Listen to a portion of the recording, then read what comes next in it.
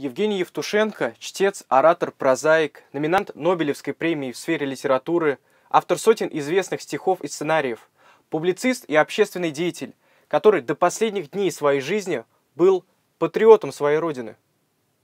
Евгений Евтушенко родился летом 1932 года в Иркутской области. Почти после рождения семья перебралась на станцию «Зима», что располагалось неподалеку. Отец новорожденного мальчика был малоизвестным поэтом и геологом с немецко-латышской фамилией Гангус. В школе Евгений учился не слишком хорошо, однако довольно увлеченно занимался в поэтической студии местного дома пионеров. Студенты-грузчики, такие страстные, летают в воздухе арбузы страшные, и с уважением глядит милиция и на мэитовца, и на миитовца. В 1948 году Евтушенко отчислили из школы за якобы сожженный журнал с отметками. Он предпринял первые попытки напечататься в «Молодой гвардии», но первая публикация состоится лишь год спустя. Это будет стихотворение «Два спорта» в тематическом издании «Советский спорт». С Казанью Евгений Евтушенко связывает давняя дружба. Так, в 1969 году он изучал историю нашего города в казанских архивах встречался с очевидцами исторических событий в университете и впервые читал стихи в легендарном актовом зале Казанского университета.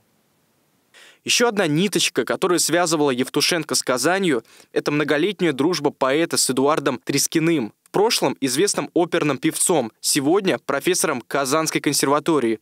О том, как они познакомились, тоже можно прочитать в казанских историях. Работы Евгения Евтушенко хранятся и в научной библиотеке Казанского университета. Например, у меня на руках его поэма под названием «Казанский университет». Она была выпущена в Казани в 1971 году, состоит из 19 глав и вмещает около 90 страниц. Когда мы открываем книжку, то сразу наталкиваемся на фотографию писателя.